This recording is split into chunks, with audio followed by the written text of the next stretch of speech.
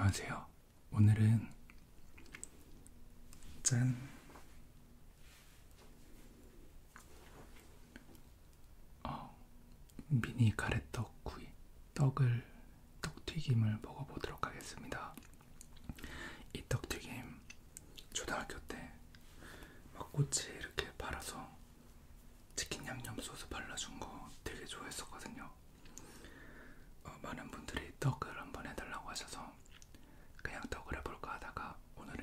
싶어서 이걸로 했습니다.